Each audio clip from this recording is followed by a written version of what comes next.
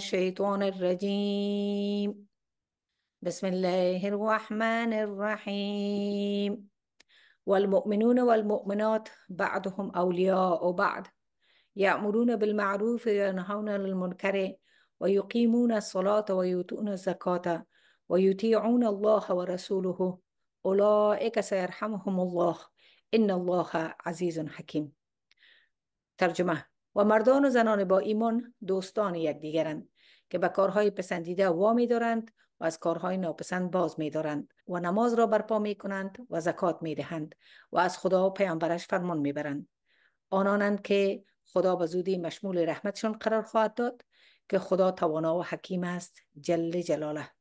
و اما بعد حضور شما بیننده های عزیز مادران پدران خواهران برادران جوانان نوجوانان و اطفال نازنین دختر پسر در هر کنج کنار دنیا و هر کنج کنار افغانستان غم زده که مرا می‌بینین. سیمونا السلام علیکم و رحمت الله و برکاته عرض می‌کنم.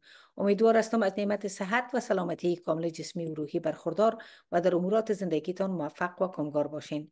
بازم خدا را شاکر و راضی هستم که به من حقیر توفیق نهایت فرمود تا از طریق برنامه اسلام زن و زندگی مهمان خانه های شما عزیزا باشم.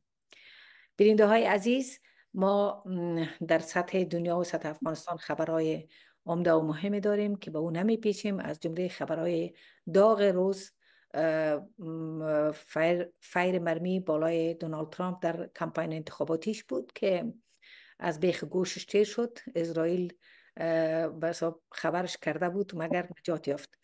امیدوار هستیم شهر بخیزه که به خیر امت اسلام و خیر انسانهای روی زمین باشن ماه متبرک محرم سال 1446 اجری قمری آغاز شده و امروز مصادف با هشت هشتم ماه محرم است و دهه آشورا. ما شما مسلمان ها دهی ده روز اول ماه مبارک محرم که به نام آشورا گفته میشه یک انقلاب و یا یک خبر تکان دهنده عظیمی داریم که متاسفانه از 14 قرن به ایسو اسلام را به دو پارچه تقسیم کرده. ما پیش از که مهمان عزیز خود دعوت بکنم که پیرامون اهمیت روز آشورا دهه آشورا و مخصوصا قیام حضرت امام صحبت بکنن. شعری را از استاد سخن و بیان و عرفان و معنویت فیلسوف بزرگ علامه اقبال انتخاب کردیم که خدمت شما عزیزان می‌خوانم. جناب علامه اقبال میگه هر که پیمان با هو الموجود بست گردنش از بند هر معبود رست. مؤمن از عشق است و عشق از مؤمن است. عشق را ناممکن ما ممکن است. عقل صفاک است او صفاکتر پاکتر چالاکتر بیباکتر عقل در پیچاک اسباب و علل. عشق چوگان باز میدان عمل. عشق سید از زور بازو افگند عقل مکار است و دام می‌زند. عقل را سرمایه از بیم و شک است. عشق را عزم و یقین داینفک است. آن کند تعمیر تا ویران کند. آن کند تعمیر تا ویران کند. این کند ویران که آبادان کند. عقل چون باد است ارزان در جهان عشق کمیاب و بهای او گران.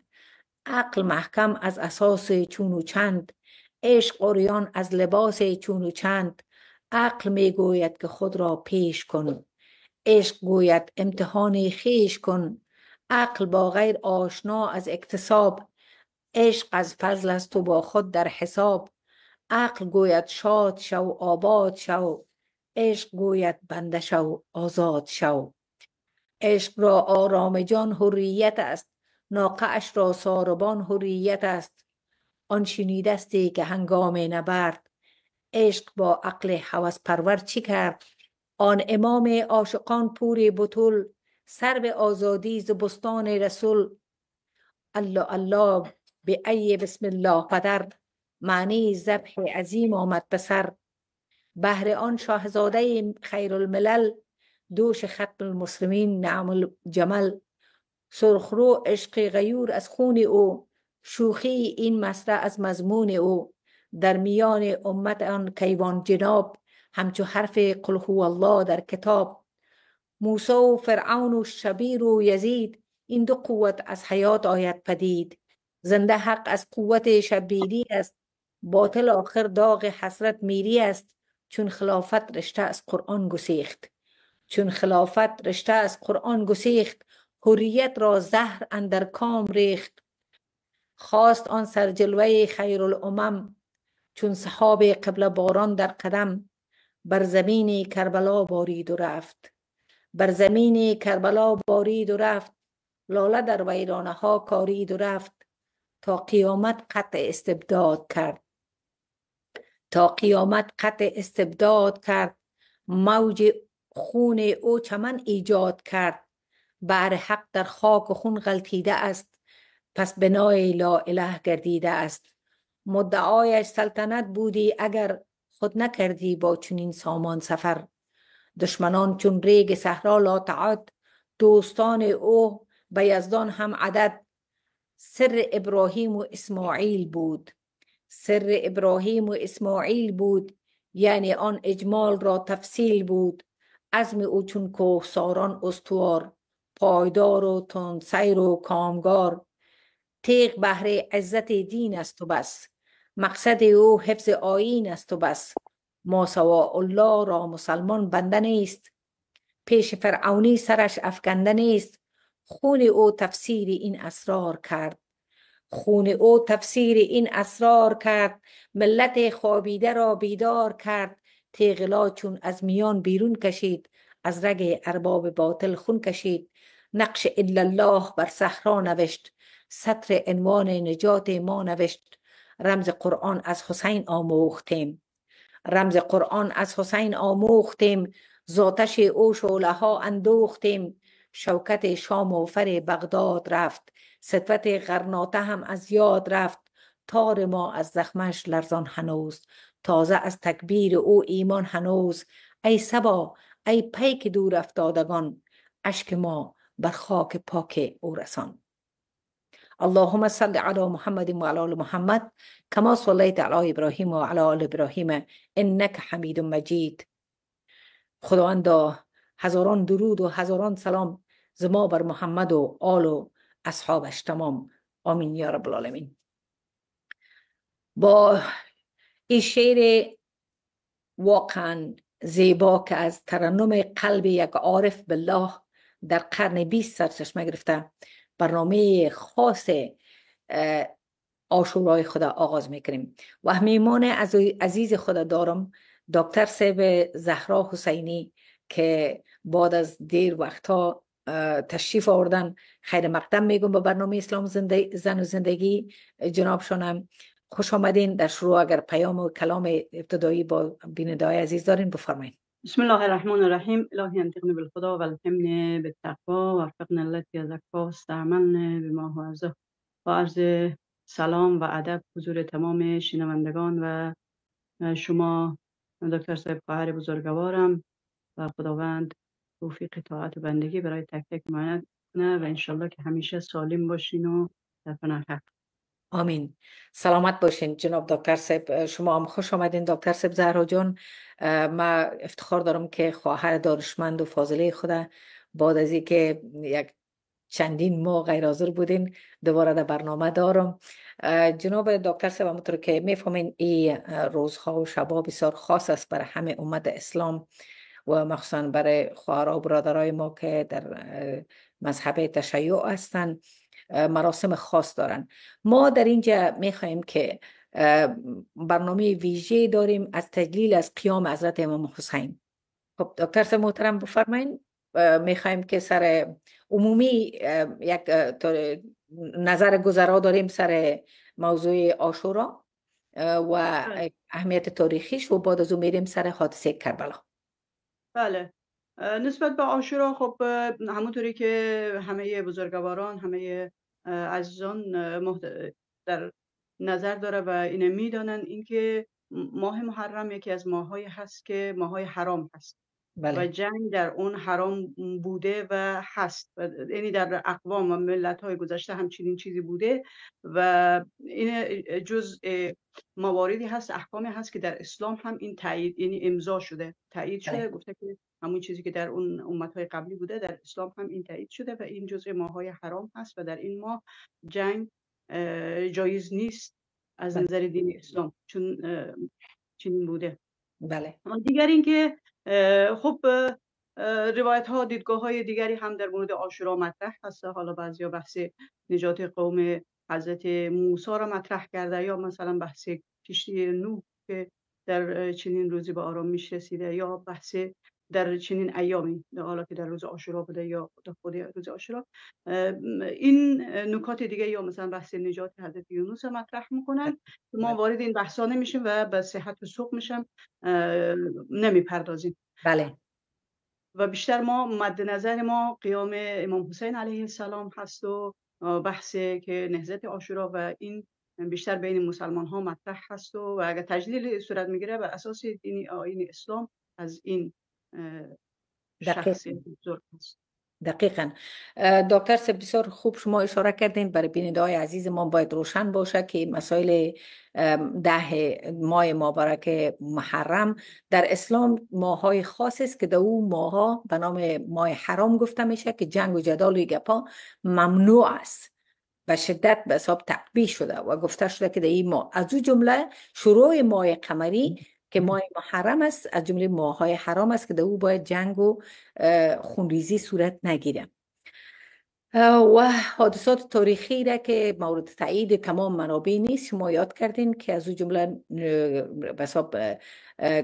به ساحل نشستن کشتی حضرت نوح هست و یا که حضرت یونس علیه السلام و حضرت موسی علیه السلام میگن که در قومش در روز از شر فرعون نجات یافتن و از رود نیل گذشتن میاییم حادثه که بر ما امت اسلام بسیار مهم است حادثه کربلا است که در روز دوم آشورا اتفاق افتاده در سال شستم هجری. درست است؟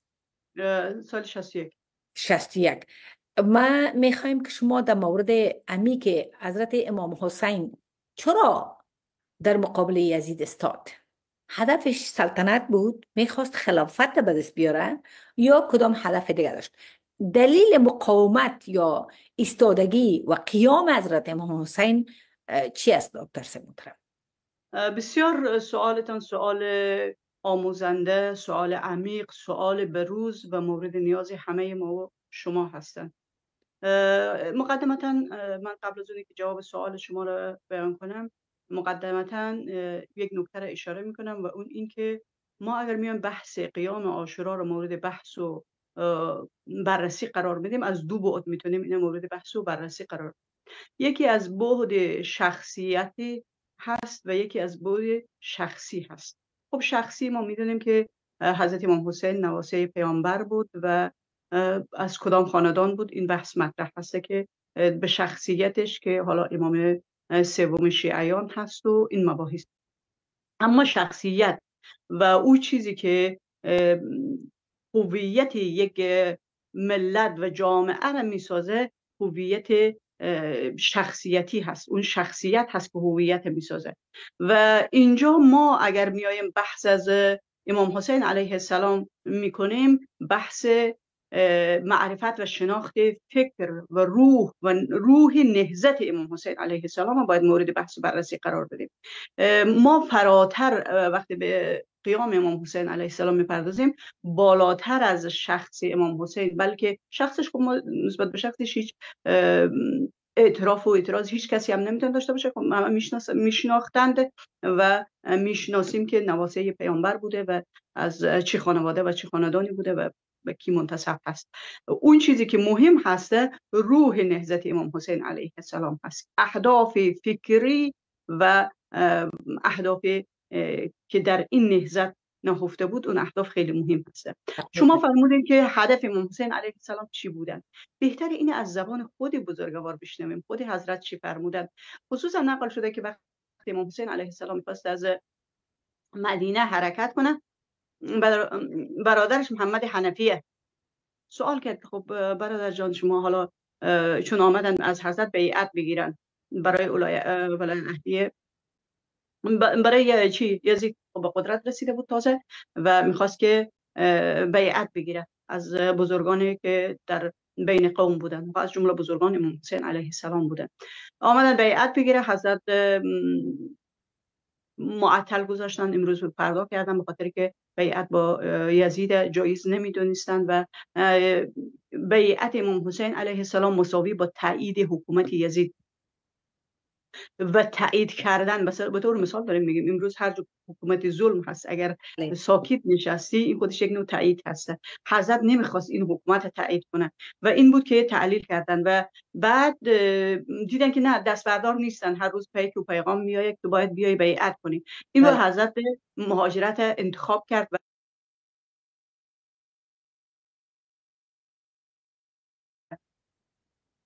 اینه که محمد حنفیه برادرش میایه میگه خب تو چرا خارج میشی؟ بعد چرا زن و بچه ها رو با خودتان همراه می‌برید و این نشان دهنده اینه که امام حسین اینجا دنبال چی نبود؟ قدرت و منصب و امثال اینها نبودن. چون کسی که به جهاد و جنگ میره خب زن بچه با همراه خودشان نمی‌برن بعد خود حضرت میفرماید مسیر جمع می‌کنه همراه خود. بله مردای جنگی رو می‌برن.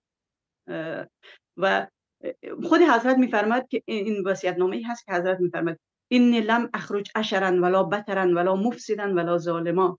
انما خرجت لطلب اصلاح في امت جدی و اریدانی و انا امر معروف و نهی عن المنکر و اسیر به سیرت جدی اینه جزء وصیت نامه حضرت هسته و جزء جواب حضرت میده که هدف از این حرکت حضرت این هسته که خارج نشده دنبال سلطنت باشه دنبال فساد باشه دنبال این باشه که حالا شورش کنه علیه حکومت روز یا امثال اینها بلکه می‌خواد که اینجا به خاطر اصلاح امت جد هست به خاطر مردم اصلاح کنه. مردم در جهالت نگه داشته بودن نماز جمعه را می آمدن روز چهارشنبه برگزار می‌کردن کارهایی که دیگری که حالا علنی شراب خوردن یزید یا رفتارهای دیگری که یزید داشت که اصلا با هیچ یک از چی اسلام سازگار نبود. روی اینجا حد حضرت فرمود من به خاطر این خروج کردم. پس به خاطر اصلاح امت جدش. و به خاطر امر به معروف و نهی از منکر که یکی از مهمترین فرائض ما هسته و که امر به معروف و نهی از منکر. و حضرت میفرماید که من به خاطر امر به معروف مردم چی کنم و دو دومین نکته می‌تونیم از بازم از بیانات خود حضرت استفاده می‌کنیم که حق خواهی و حق طلبی هست. بله. و این امر به معروف که حضرت انجام میده به خاطر که می‌خواد حق و حقیقت به مردم آشکار کنه. بعد در بین صحبت های حضرت هست که حضرت میفرماید الا ترون ان الحق لا يعمل به و ان باطل لا يتناهی عنه. لیرقب المؤمن فی لقاء الله محقا.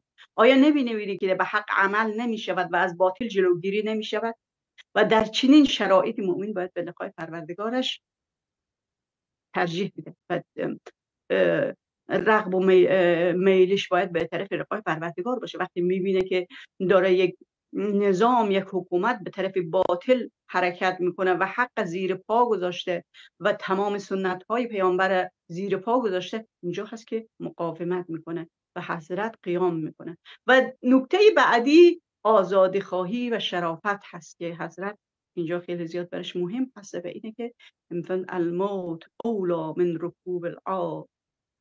الموت اولا من رکوب العار و بعد ادامه این کلام حضرت چنین هست که الموت خیر من رکوب العار و العار خیر من دخول النار. مرگ از پذیرش ننگ بهتر است و ننگ از ورود در آتش سزاوارتر است.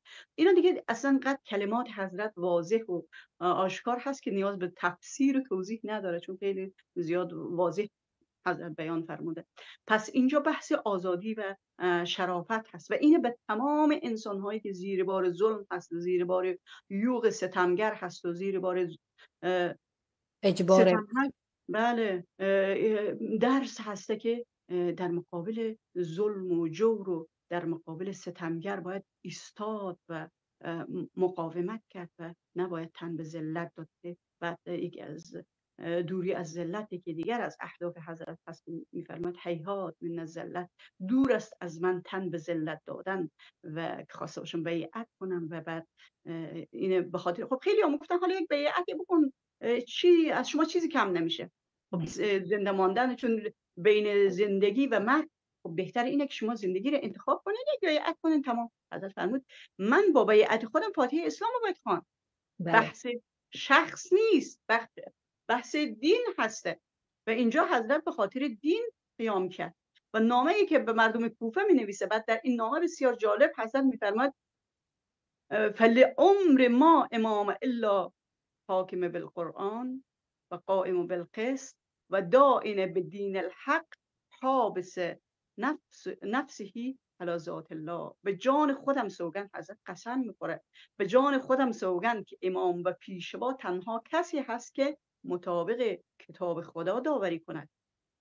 و دادگر و متدین به دین حق باشد. وجود خیش را وقف و فدای اسلام کند. فدای فرمان خدا و دستور الهی کند. تشکر دکتر صاحب از صحبت شما و تا جایی که خودم هم مطالعه دارم. حضرت موسی اول از مدینه به مکه آمد و از مکه باز پسان همین سوال بعدی ما است که چرا حضرت امام حسین انتخاب کرد که به طرف کربلا بیایه؟ چرا مکه و مدینه را مکه را که زادگاه جد بزرگوارش حضرت محمد رسول الله صلی الله علیه و بود او را ترک کرد و چطور اعتماد کرد که بیایه بر مردم و کوفه را انتخاب بکنه که بیایه به کوفه دلیلش چی است؟ به هر حال بیننده های عزیز ما دیدگاه های مختلف موجود است. خواهر عزیز ما دکتر سب زهرا حسینی ما به خاطر دعوتشان کردم که دیدگاهشان ما باید کوشش کنیم که برای وصلت عالم اسلام برای وصلت ما بر نزدیک شدن بین ما ما باید سر مشترکات یک دیگه خود گپ بزنیم که پیش ما اهل سنت جماعت. اونو قدر حضرت امام حسین محبوب است مثل که پیش برادرها و خواهرای عزیزی تشیع امام محبوب است. ما در پنج وقت نماز می‌خوانیم. اللهم صل علی محمد و علی آل محمد. آل محمد شامل کی میشن؟ اینمی خانوادهش است این از امو خاطر ما درود میفرستیم.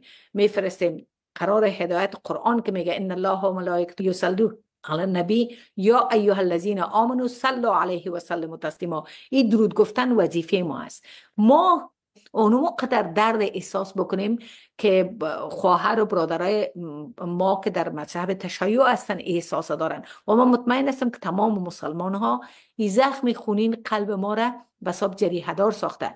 و هدف قیامش هدف برآمدنش و هدف قرار که شما از صحبتهایشان گفتین از اقوال خودشان گفتین که در مقابل ظالم می‌خواست به شکل اعتراض خود نشان بدن نه به شکل مقاومت مسلحانه نه به شکل جنگ. چرا اگر هدفش جنگ و غذا و جهاد می بود خب امره خود زن اولاد خود نمی برد تمام لشکر جور می‌کرد و در مقابل لشکری ها لشکر تهیه می‌کرد. در مقابل مستبد باید اعتراض بکنه آدم. و حضرت پیغمبر خدا این توصیه را برای, برای امت اسلام کرده بود که ظالم و مظلوم ارتوش در دوزخ میره. چرا ظالم به خاطر ظلم می‌کنه مظلوم چرا در مقابل ظلم سکوت می‌کنه؟ چرا مقاومت نمی‌کنه؟ و حضرت امام حسین خواست که سنت پیغمبر را به جا بکنه چرا که یزید خلاف سنت اسلام سیستم حکومت داری را از خلافت که انتخابی بود یا انتصابی بود به شکل میراسی تبدیل کرد. یعنی از پدر به بچه رسید. حضرت معاویه وقتی که وفات کرد بنابر بعض تواریخ نشته می‌کنن که او وصیت کرد که بعد از من پسر ما یزید که یک شخصی که لیاقت نداشت کفایت نداشت و زنبارگی و شرابخوری معروف بود عیاش بود بر از او باید بگذارن اینال اینمی بدعتی که در اسلام به وجود آمد اینمی جرحی که در اسلام به وجود آمد که خلافت به سلطنت مبدل شد.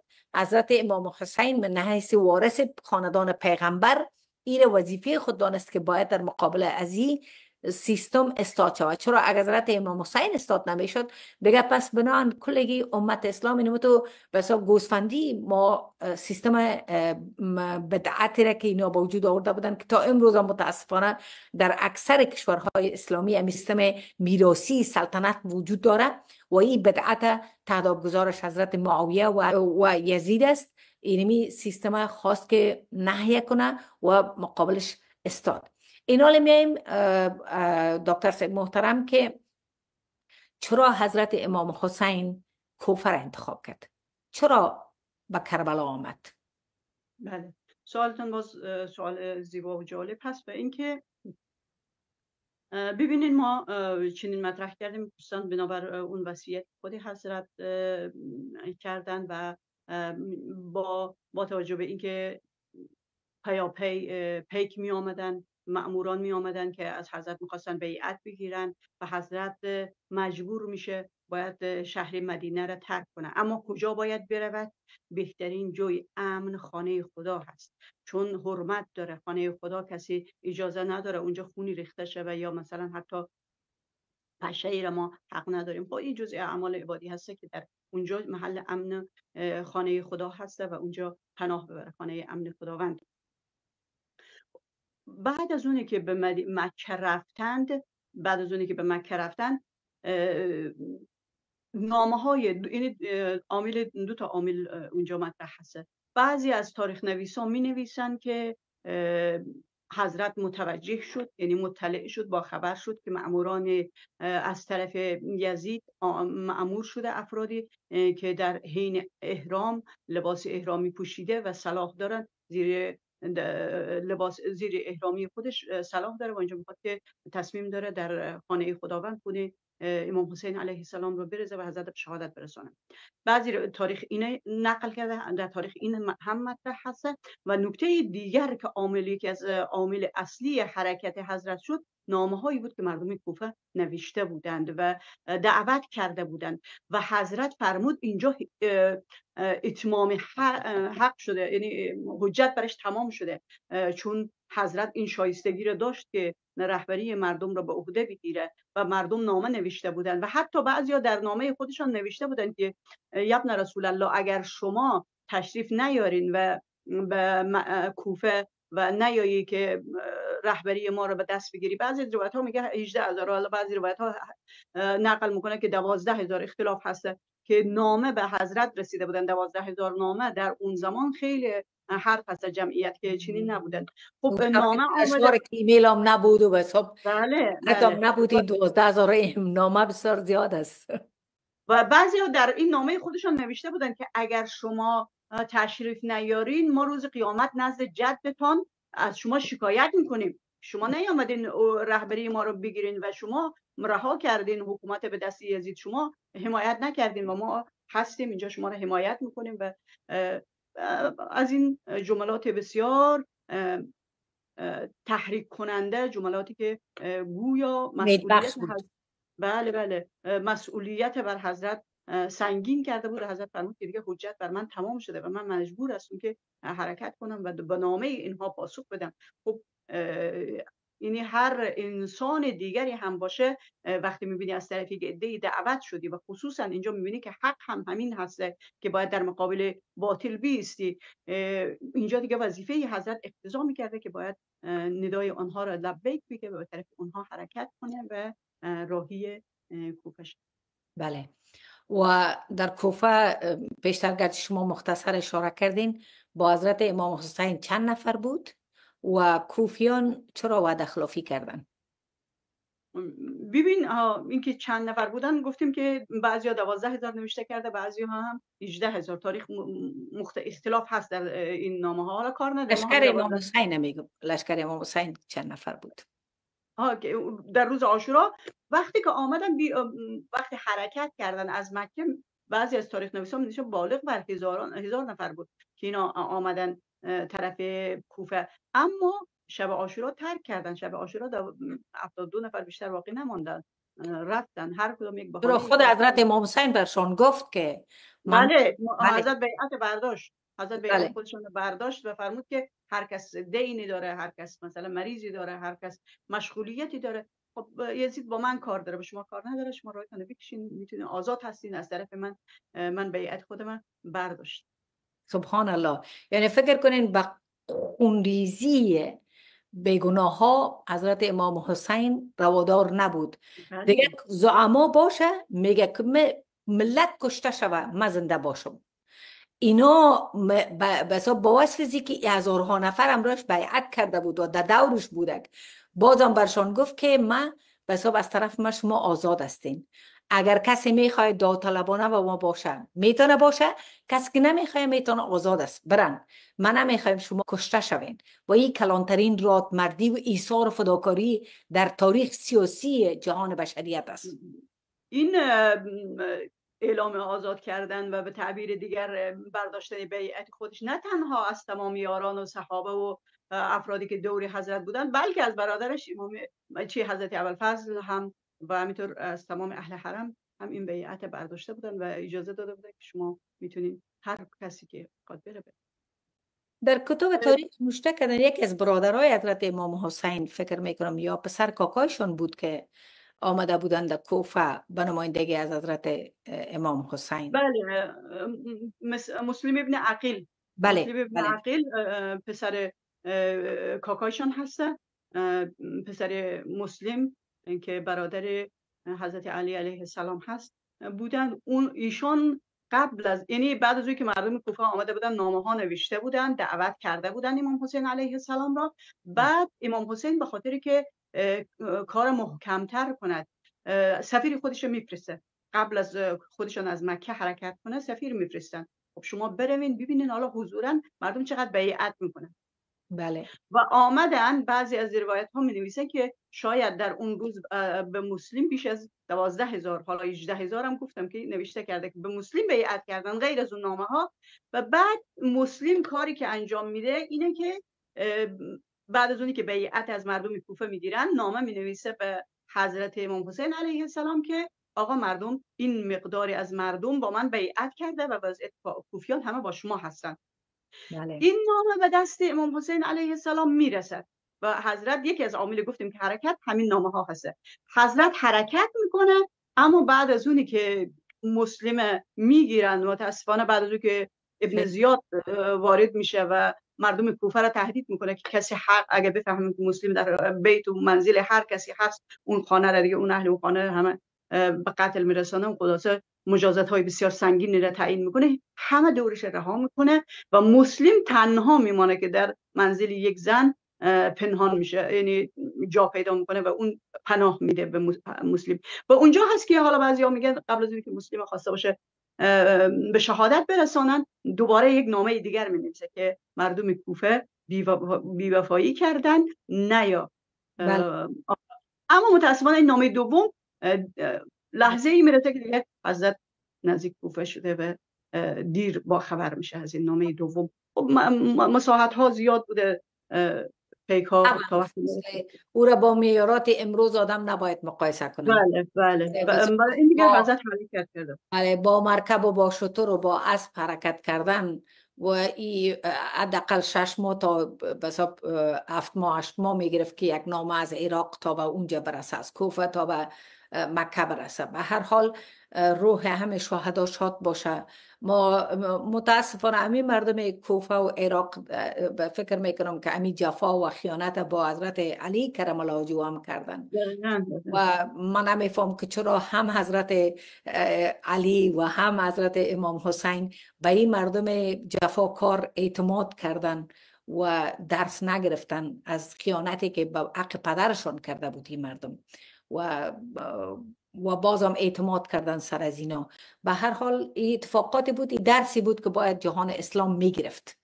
این دقیقت باید امت اسلام یاد می‌گرفت که در مقابل حاکم ظالم باید استاد شود. و این کار اگر حضرت امام حسین نمی کرد ما دیگه تو گوسفندی اتی الله اتی رسول الامر منکم باید می‌رفتیم دیگه. دقیقت حضرت امام حسین با قیام خود به ما یاد داد که در مقابل ظالم استاد شویم. ولو که او به چوکی کرسی به سلطنت هم شیشته باشه. یعنی نترسیم. میاییم با حضرت امام حسین. درس هایی که از این مقاومت یا از این قیام حضرت امام حسین ما باید بگیریم چی است؟ جناب دکتر سب بفرمایید. شما پیشتر اول اشاره کردین به شعر بسیار زیبای اقبال لاهوری.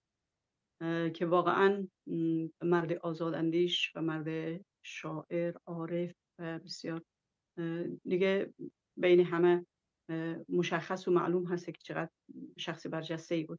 من اینجا اشاره می‌کنم به یک دو بیت از شعر بلخ اسماعیل سید اسماعیل بلخی که اشاره می‌کنه که تأسیس کربلا نه فقط بحر ماتم است. تأسیس کربلا نه فقط بحر ماتم است دانش سرای مکتب اولاد آدم است.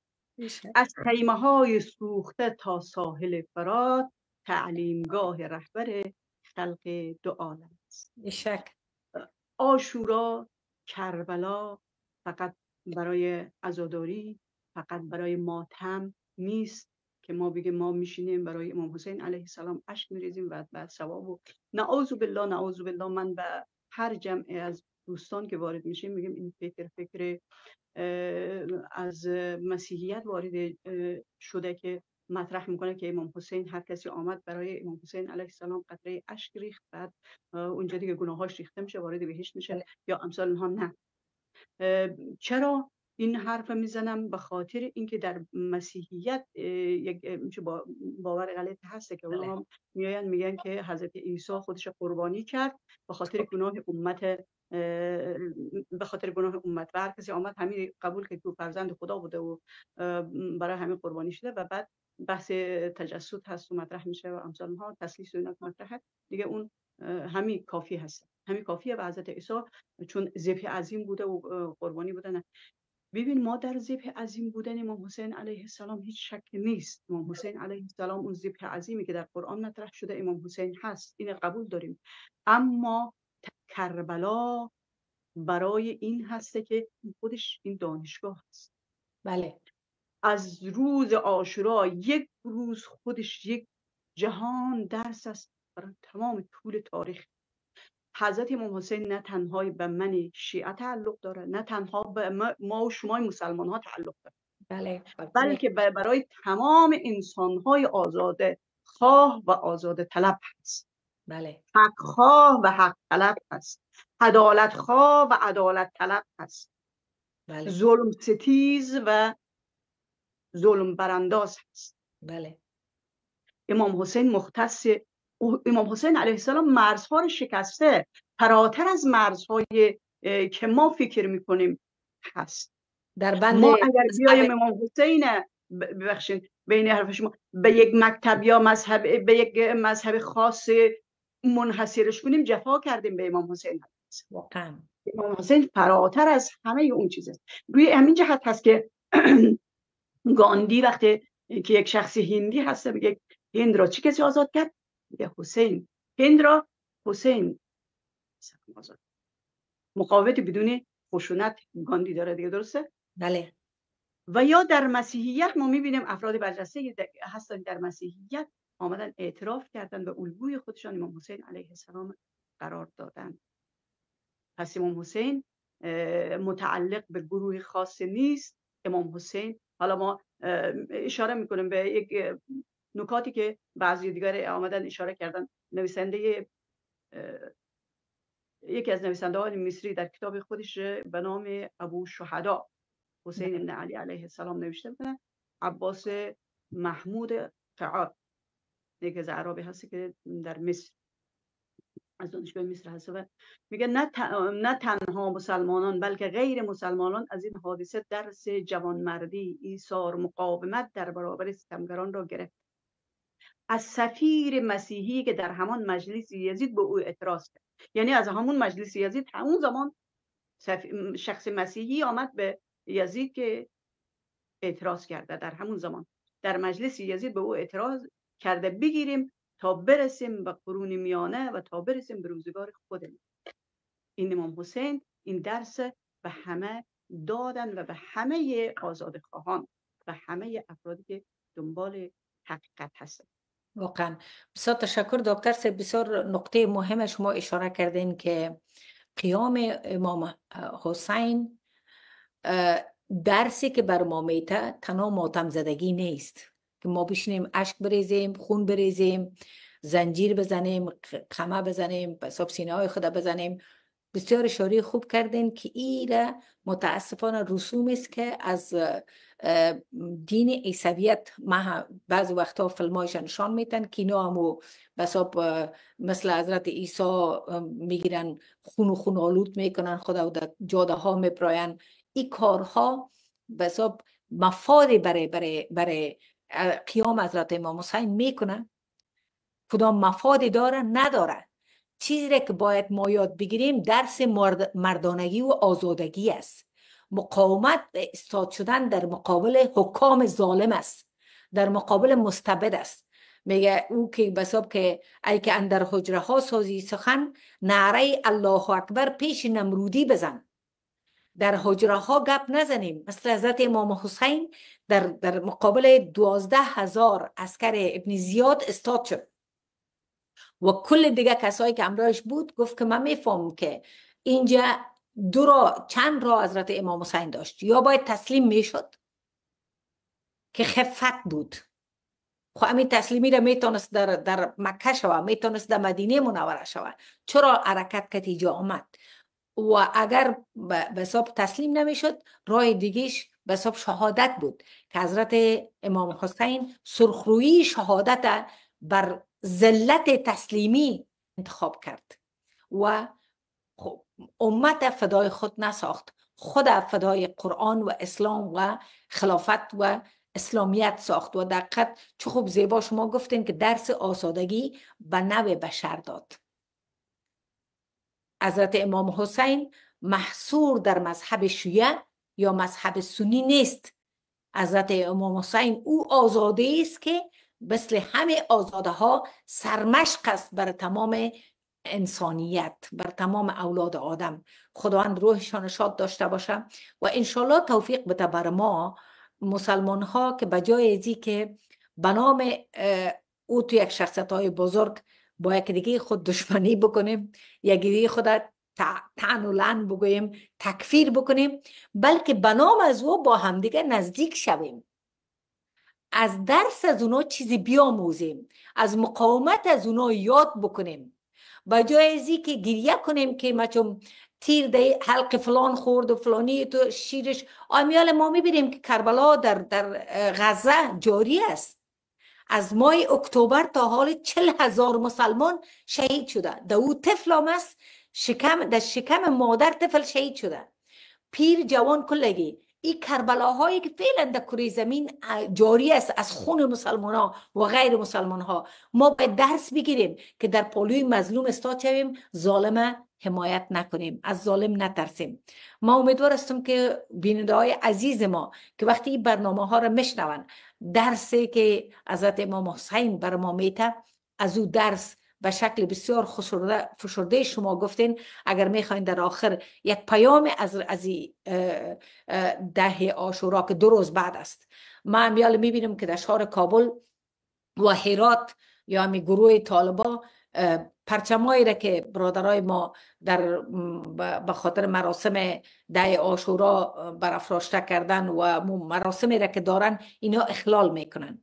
یک کار بد نیست مردم شیشتن کی یاد می‌کنن؟ نواسی پیغمبر خدا رو یاد می‌کنن. چی می‌کنن؟ بر از او اشک میریزن. خب با بجای ازی که تو باید تو خشونت برخورد شوه به آداب و رسوم مردم احترام شوه و به بسیار شکل حسنیش بر از اونا فامانده شوه ما به نظر من امیدوار هستم که برادرها و خواهرای عزیز ما چی تشیع باشه چی تسنن باشه باید به این نقطه مشترکی که درسی که از حضرت امام حسین ما می‌گیریم با او توجه داشته باشن که شما اشاره کردین در آخر اگر پیام داشته باشین جناب دکتر صاحب بفرمایید ما در خدمت شماست ببینین من اون چیزی که می‌تونم به عنوان نکته آخر بیان کنم این هسته که یک از احادیث روایت هاست از امام صادق علیه السلام میفرماید کل یوم آشورا و کل ارز کربلا این کلام چی چیزی را به ما میرسانه میفرماید که هر روز آشورا و هر سرزمین کربلا هست. یعنی هر جا که در مقابل ظلم در مقابل ستم در مقابل بیعدالتی در مقابل باطل ایستاده شدی اونجا هر زمانی که ایستاده شدی او زمان زمان آشورا هسته و در هر مکانی که باشه او سرزمین کربلا هسته. یعنی کسانی که میگن حالا ما نبودیم در نهزت امام حسین یا امثال اونها این ثواب کسب نکردیم و جزء شهدا نبودیم از حق دفاع. امام حسین حق هسته و حقیقت هسته. این یک نکته. نکته دوم می‌خوام بگم که ببینین شنوندگان عزیز اون چیزی که باید توجه داشته باشیم آشورا دو بعد داره. یک بعد شوری حسینی یک بعد شعور حسینی. بله. شور و شعور تو هم هست کنار هم هسته همونطور که انسان دو بعد داره بله. ما هم عقلانیت داریم هم احساسات داریم بله. این وقتی یک انسان کامل هسته که احساس و عقلانیت با همدیگر جمع کرده باشیم بله ما اگر تنها به احساسات بپردازیم هم دچار تزلزل میشیم و بله. انحراف میشیم اگر تنها به عقلانیت بپردازیم و احساسات خاموش کنیم هم دچار تزلزل میشیم در آشورا این دوتا باید کنار هم دیگر باشه. شور شعور حسینی. بله. این دوتا خیلی مهم هست. و نکته سوم به این و نکته آخر که می‌خوام بیان کنم اینه که در حکومت های مانند طالبان میترسن از این که اون شور حسینی اون غیرت حسینی مردم به جوشش بیایه و فردا علیه اینها قیام کنه و حرکت کنه. و از حرکت ضد ظلم و ضد جور و از این میترسن و از تجمع مسلمان ها میترسن از بله. تجمع انسان ها میترسن روی این جهت اونا از ترس خودشان هستن. مخالفت اگر با امام حسین علیه السلام داره بر مجالس امام حسین حالا کار نداریم به برپای عزاداری ها داره. برای این هسته که در این شورها اکبر که اینا فقط از سر خود و بحث شعور افغانی اینجا نیسته بحث سخنرانی ها اینجا نیسته. خب میگه بگذاره همینجور گوساله بار باشه بحثای سینه زنی و زنجیر زنی و خون ریختن و قمه زدن اونا باشه. اونا رو کار نداره. اما چون می‌فهمه که اینجا بحثی شعوری حسینی هم هسته مردم بیدار میشه. این حسین مصباح الهدا و سفینه النجات. حضرت رسول اکرم صلی الله علیه و آله فرمود حسین چراغ هدایت است. کجا چی به چیز نحوی؟ در این مجالس ها هست که از برکت امام حسین علیه السلام مردم باید بیدار شوه و ظلم ستیزی و ضد ظلم حرکت کردن باید یاد بگیره. باید آزادی خواهی رو باید حق طلبی رو باید فداکاری رو ایثار و از خودگذشتگی رو مقدم داشتن خود را بر دیگری و خود فدای دیگری کردن. یعنی دیگری رو بر خود مقدم داشتن به خود فدای دیگری کردن و امثال اینها رو از درسایی هست که از آشورا باید آموخت و میترسن کسانی مانند حکومت طالبا امثال اینها میترسن که مردم بیدار شوه و این شعور حسینیشون بالا بره. و بله. این شعور و شعور با هم ممزون شود و اون انسان که انسان هسته هر دو بوده باید دارا باشه در, این در اینها زنده شده و این از حکومت و نظام خودشون. دقیقا.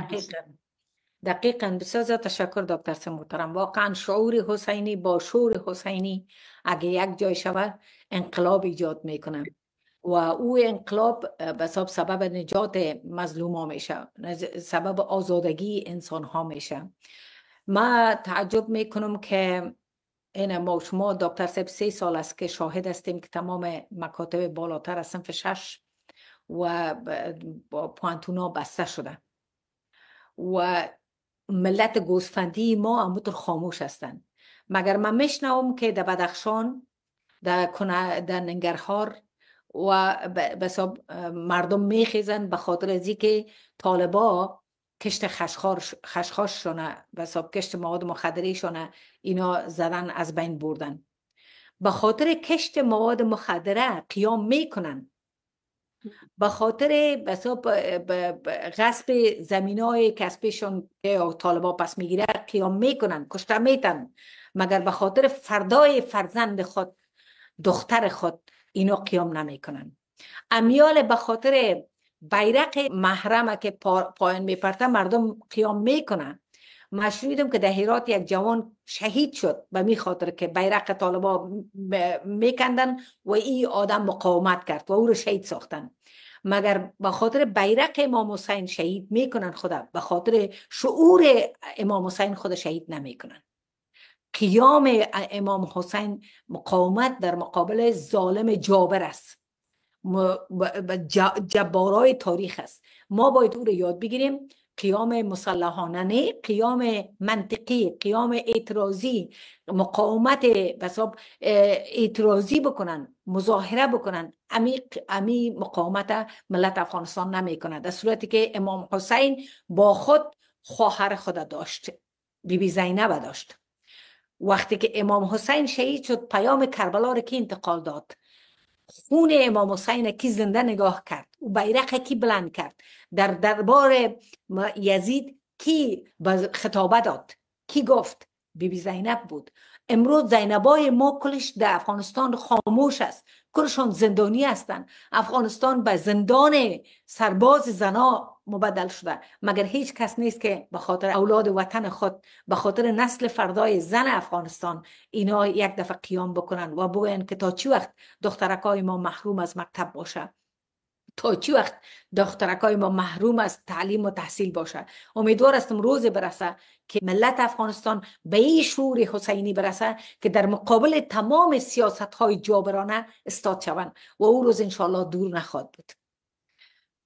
تشکر می‌کنم دکتر سیب دردهای ما و شما مشترک است و دردها به حد زیاد است. اگر بگویم ختم نمیشه. اگر شما چیزی گفتنی نداشته باشیم یکی از مناجات ها را می‌خوانیم و دعا می‌کنیم که خداوند شور و شعور حسینی بر همه ما عنایت بفرماید. انشالله انشالله همون دیگه. من چیزی گفتنی ندارم جز اینکه اگر خواسته باشم دو تا بیت از بیت های خود شما قرائت فرمودین آن امام عاشقان پوری بطول سرو آزادی ز بستان رسول. خون او تفسیر این اصرار کرد ملت خوابیده را بیدار کرد. امیدوارم که این ملت بیدار شود. ملت خوابیده را بیدار کرد. تیغ بحر عزتی دین است و بس. مقصد او حفظ آیین است و بس. رمز قرآن از حسین آموختم. ذاتش او شعله ها اندوختم. تار ما از زخمش لرزان هنوز تازه از تکویر او ایمان. بیشک. انشالله که ایمان ما همیشه با این یاد این مجالس و یاد چنین رشادت ها همیشه تازه و تازه تر باشه انشالله بیننده عزیز ما به آگاهی دارن که در ختم هر برنامه ما یکی از دعاهای مناجات های معصوری را که جناب علامه سید فیضانی در زندان دیمزنگ نوشته کردن می‌خوانم و با او برنامه را ختم می‌کنیم که میگه یا حول ملک القدوس با آن خوشحالی که به وقت طوفان نو علیه السلام نصیب شیاطین به اثر غرق شدن بشر و بشریت جهان ما گردید اکنون خورسندی را در قسمت همه پاکان و نیکان بارگاه عظیم سبحان خود به پیشروی ما و سردمداری همه صلحا و رهبر مظلوم ما مرحمت گردان. و بیش از این قدرت فعالیت و خورسندی را به اعدای خیش و مخالفین ایمان و اسلام نصیب مکن. بحرمة أسمائك المخزون المكنون الجليل أجل عظيم العظمك إننا مغروب فانتصر بعزك وجلالك يا قدوس المقدس واعتجل بقبولها یا قاضي الحاجات. بازمو دعای معصوره را می‌خوانیم که اللهم انصر من نصر دین نبینا محمد صلی الله علیه وسلم. و عجل بزور مهدی الاسلام و جعلنا من اوانی واخذل من خذل دین نبینا محمد صلی الله علیه وسلم. ولا تجعلنا منهم وجعلنا وسیله لهدایتهم. خداوند نصرت بده او کسایی که ناصرین حقیقی دین نبی کریم صلی الله علیه و هستند و بگردان ما را جمله اعوان و همکارانشان الهی خوار و ذلیل بگردان او کسایی که خوار و ذلیل می‌کنن امت اسلام و دین مقدس اسلام و ما را از جمله نگردانی بلکه ما را وسیله هدایت رحمایشان قرار بدی. روح سردار شهدا حضرت امام حسین و جمعی شهدای پاک باخته اسلام از صدر اسلام تا امروز شاد باد و خداوند به ما توفیق عمل و تعقیب کردن و قدم های استوار از را نصیب فرمایه و آخر دعوانا الحمدلله رب العالمین. السلام علیکم و رحمت الله و